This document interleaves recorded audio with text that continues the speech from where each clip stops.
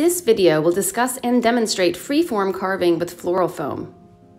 First, avoid inhaling dust from floral foam by ensuring proper ventilation and wearing a mask. Safety glasses are also recommended to prevent eye irritation. Many tools can be used to carve floral foam, including serrated plastic knives, smooth-edged fettling knives, loop or ribbon tools, which are ceramic tools, and riffler rasp tools. Fingers and sandpaper can also be used to increase the smoothness and shape the foam. When learning to carve a subtractive sculpture with the new medium, I recommend taking a small portion of your medium to work with first as practice. Knives are best to start with to begin removing larger areas. This is a free-form sculpture, which means I have no sketch or plan in mind when I begin sculpting. My goal is to alter all edges and sides of the block so that I create a sculpture that is in the round. I also want to make sure that I create at least one opening or hole that goes all the way through the sculpture. And I would like my sculpture to have the ability to stand up. Ceramic loop or ribbon tools are excellent for removing medium-sized areas. In fact, this is my favorite tool to carve with.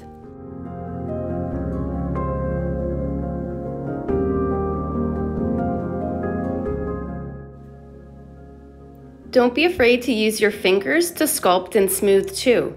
The floral foam is very soft and very easy to mold.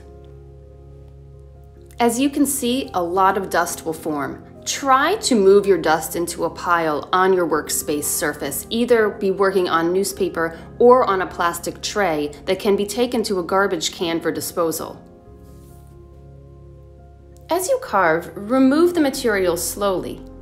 I'm trying to create at least one opening, but I'm doing it gradually so that I don't break my sculpture in half.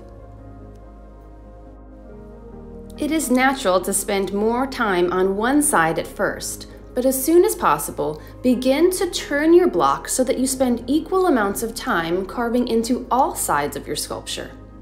To make your sculpture in the round, try bringing the hills and valleys that you carve into one side around your form. This will really help bring the eye of the viewer around your entire sculpture. Take a moment to watch as I continue to use the loop tool to carve lines which create valleys into all sides of the sculpture.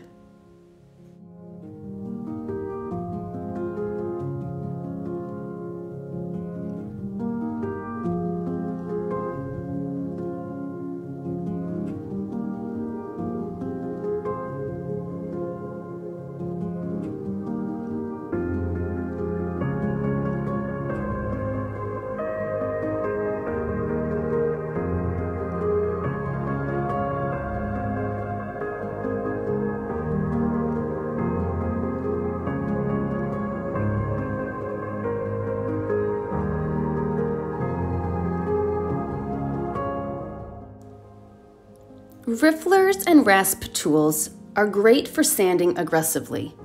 These tools have teeth that are shaped like tiny mountain peaks, and they cut and sculpt.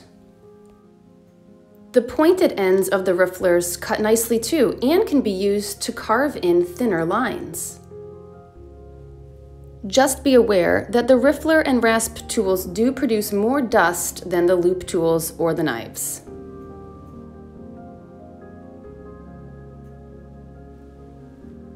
As you add greater detail to your sculpture, consider making additional holes or openings. In addition, having a variety of levels of relief or height will add more interest to your sculpture. Work your fingers over your sculpture to add increased smoothness or take a tool and carve in some new textures. And finally, Try to make your sculpture stand up on one side. You may need to flatten out one side to help it to stand. Carving floral foam is so much fun, and with the proper safety precautions taken, it can be done by people of any age and experience level.